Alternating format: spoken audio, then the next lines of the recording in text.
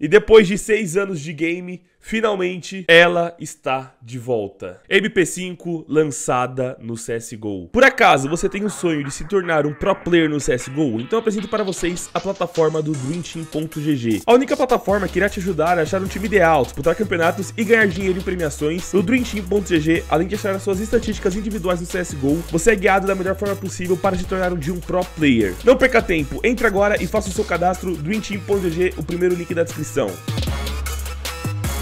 O que é o CS.Money? A maior variedade de skins que você pode trocar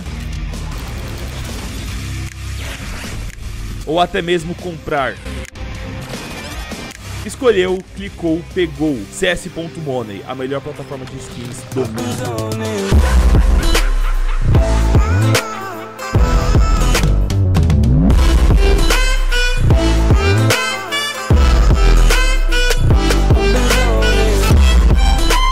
Aí galera, sejam bem-vindos a mais um vídeo aqui no canal Cachorro 1337 Pra quem não me conhece, eu me chamo Rian. E galera, hoje é mais um vídeo sobre uma atualização do CSGO, cara. Uma super atualização. Há mais ou menos duas semanas eu já postei um vídeo falando sobre o lançamento oficial do Panorama U E daquela nova caixa Com 17 novas skins e 4 novas facas. E o CSGO não para de atualizar, velho. A Valve acordou, né, o gigante acordou. E ontem, no dia 15 de agosto, a Valve lançou uma nova arma A MP5. E eu quero dizer que a MP5 já não é uma novidade na história do Counter-Strike. No Counter-Strike 1.6 já tinha MP5, ela era inclusive uma SMG muito utilizada, ela batia de frente com a maioria dos rifles, e não só no CS 1.6, a MP5 também não é uma novidade no CSGO, porque já tinha a MP5 nas versões Alpha e Beta do CS. Eu não sei o porquê, mas no lançamento oficial do jogo, que aconteceu no ano de 2012, a Valve por algum motivo decidiu tirar a MP5, e depois de 6 anos de game, game,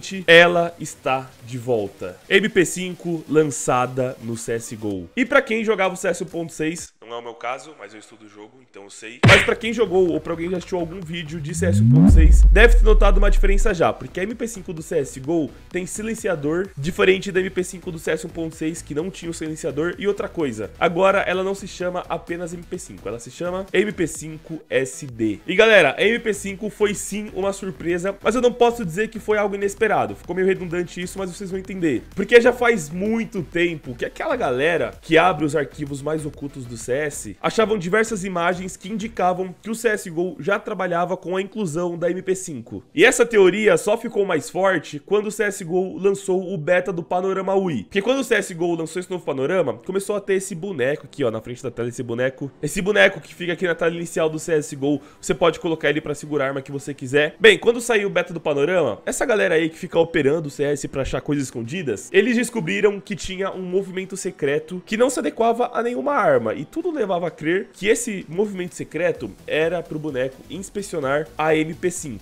Então sim, pessoal, a MP5 é uma novidade, mas é uma novidade já esperada por nós. Vamos lá, galera, já estamos aqui no CSGO com a MP5 equipada. Então, pessoal, vamos aqui realizar alguns testes e ver se a gente consegue tirar alguma conclusão pra ver o que que tá melhor, a MP5 ou a MP7. Eu vou admitir que eu não era muito fã de MP7, não. Eu quase sempre optava por MP9 ou Mac 10, mas eu não era tão fã de MP7, não. Então, pra mim, o lançamento da MP5 caiu bem, porque agora eu tenho uma outra opção pra colocar no lugar da MP7. E pra quem não entendeu ainda, é assim que funciona, pessoal. Você tem que optar entre a MP7 ou entre a MP5. Como você faz isso? É só vir aqui no seu inventário, equipamentos, e aqui você escolhe se você quer equipar a MP5 ou a MP7. Você também pode escolher entre equipar uma para CT e outra para TR ou vice-versa. Vou aproveitar que eu estou aqui no meu inventário e vou lembrar vocês que aqui no canal eu tenho uma promoção. Todos os vídeos que batem a meta de 5 mil likes em menos de 24 horas tem sorteio de uma linda USP Cyrix. Então, manos, deixem um like. Daqui 24 horas o vídeo estiver com mais de 5 mil likes, eu vou sortear essa linda Cyrex pra todo mundo que comentar aqui no vídeo,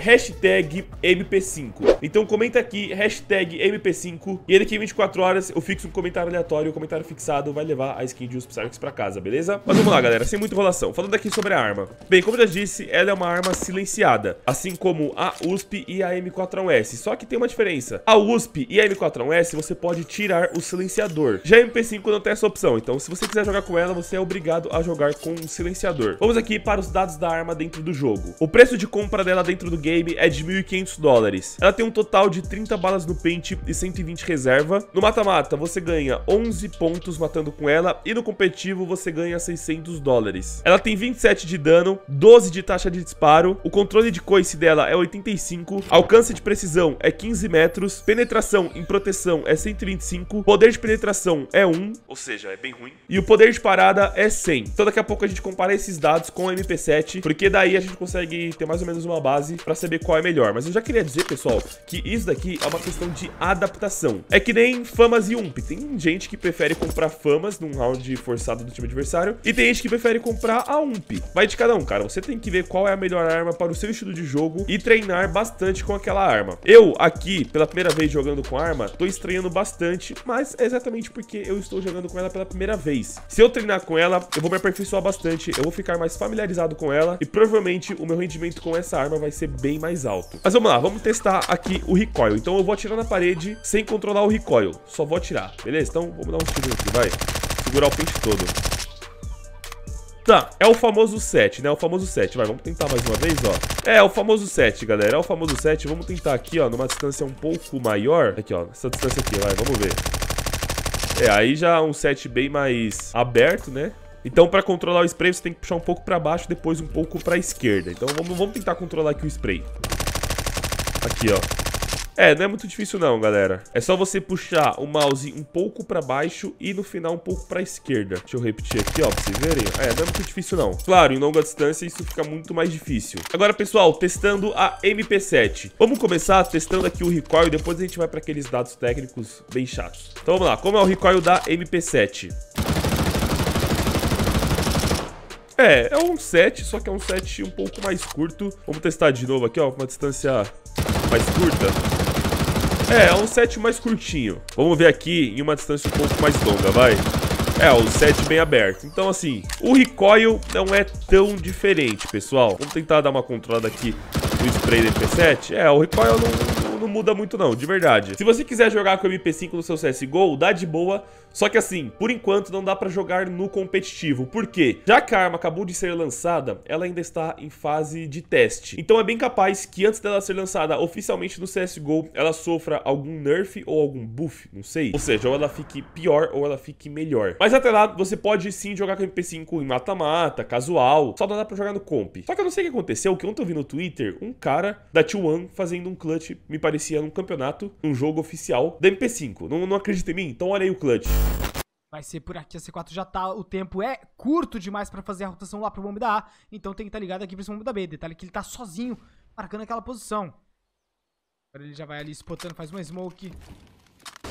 Olha só o avanço ali pra cima dele, ele vai segurando MP5, cantando a estreia aqui da arma, já vai fazendo fila nas mãos do IDK, mais um jogador pra finalizar o TRK, chega pela região do CT e coloca aí a última aqui no bolso, 3x0 T1, começando muito bem aqui essa grande final. Agora galera, vamos lá pros dados da MP7, ela também tem um custo de 1.500 dólares dentro do game, a munição é a mesma, 30 barra 120, prêmios pra matar no mata-mata, 11 pontos. E no competitivo, eu não sei, mas eu imagino que também seja 600 dólares, dano, 29, 9, taxa de disparo 12, controle de coice 85, alcance de precisão 15 metros, penetração e proteção 125, poder de penetração 1 e poder de parada 100. Galera, pra resumir todos aqueles dados de dano, eu fiz alguns testes e basicamente funciona assim. Pra matar, você precisa dar dois tiros na cabeça e no peito você precisa dar 8 tiros, cara. É, oito tiros. É bastante, mas se você tiver uma boa precisão aí na cabeça, mano, é de boa porque ela dá tiro bem rapidinho, mano. Uma vantagem bacana é que assim como o MP7, você pode dar tiro andando se você controlar ele, mano, pega um, uma precisão bacana. Ó, um, dois. Dois na cabeça. E no peito, ó, vamos contar aqui, ó. Um, dois, três, quatro, cinco, seis, sete. É, foi sete. No meu último teste tinha sido oito, mas tá na média. E galera, agora uma teoria minha que faz bastante sentido. A última arma que o CSGO lançou depois do lançamento do jogo foi o Revolver. E assim que eles lançaram o Revolver, eles lançaram também uma caixa chamada Revolver Case. Que era uma caixa que vinha 17 novas skins, né? Como todas as outras essas caixas. Só que um dos itens mais raros da caixa era o Revolver, o Revolver Fade. Então, mano, será que teremos aí em breve uma próxima caixa chamada MP5 Case? Não sei.